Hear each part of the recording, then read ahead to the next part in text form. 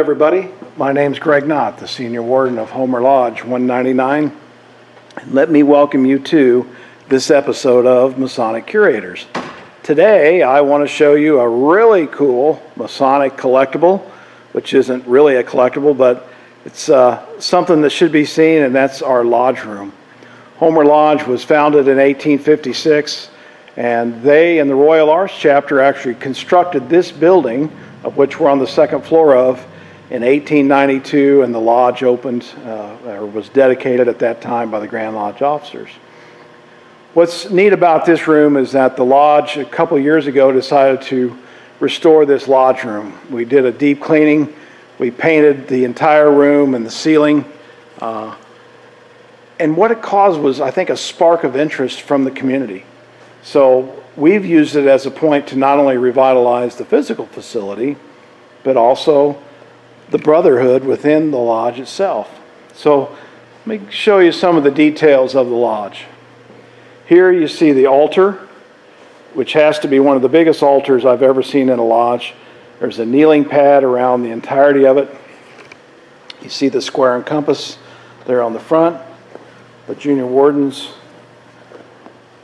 jewel, again on the front on this side, and of course the, the junior warden's jewel on that side.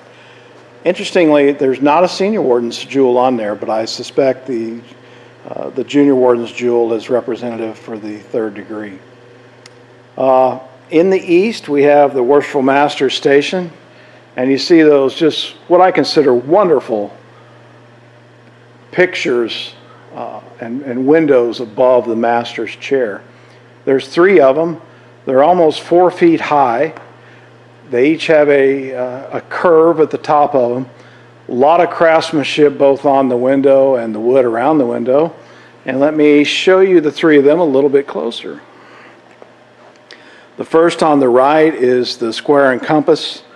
Uh, it's a deep blue and when the sun shines through these uh, during the day, they illuminate this room like nothing else you've seen. You see the, the red and the blue at the bottom of the windows, and that, that comes through very striking, and it's just beautiful. Now, we've got some great photographs, but next to that is the all seeing eye.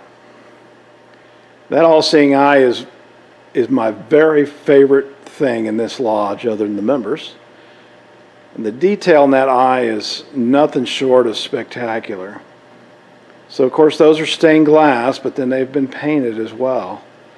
And that eye, no matter where you are standing in this room, you would swear it's looking at you. One of our members, Darren Lanners, actually has that window as a tattoo, and it looks very good. The third window is, of course, the, uh, the keystone from the Royal Arch. Homer chapter number 94 was here for almost 135, 40 years, and it closed, but that window was representative of the chapter.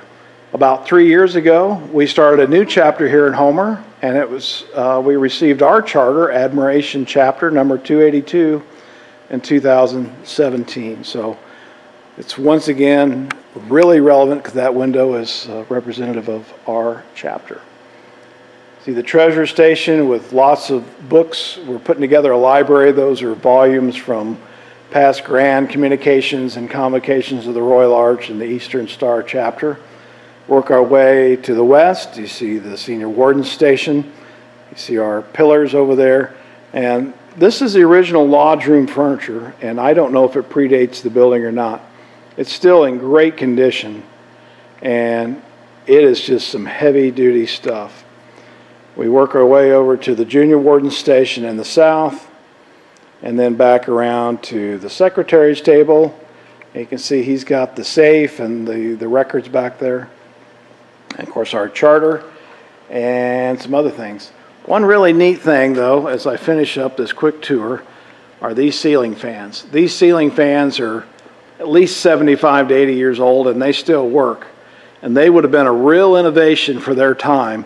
They oscillate around not only the fan blades, but the actual fans. They go in a circular motion, so they're not only blowing air, but they're, they're doing it in a 360 degree fashion. So they're really neat, and we've got a pair of them, and like I said, they actually still work. So, so that is Homer Masonic Lodge Lodge Room. Um, hope you enjoyed your quick tour, and if you're ever in Eastern Illinois, come see us. Third Monday, 7 o'clock. We usually have a meal beforehand.